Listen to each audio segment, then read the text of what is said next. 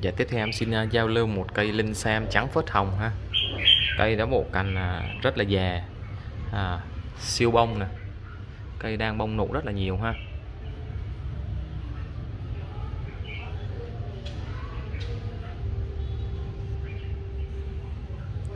Cây này em đang để chơi, ba, chơi bông. À, Mình à, chơi hết đợt bông xong rồi mình cắt tỉa lại Mình định hình cái bộ tàn của nó nữa. Thì dần dần càng ngày nó sẽ càng đẹp hơn nữa ha cây tông cao có bộ rễ rất là quái nè.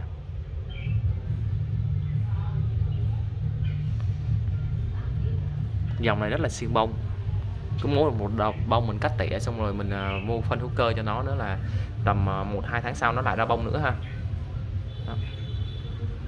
bông rất là nhiều nè.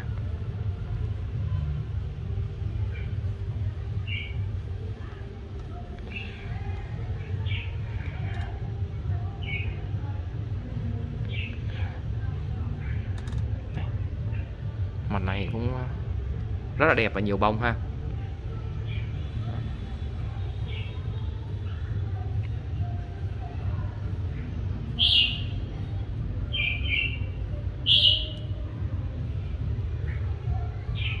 Cây này có gốc to có ngón tay cái ha.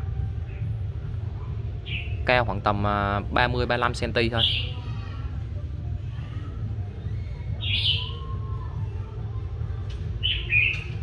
Giờ rồi em xin uh, giao lưu cây sinh linh sam trắng phớt hồng uh, à, siêu bông này với giá là 300 ngàn đấy bao ship và không dầu ha.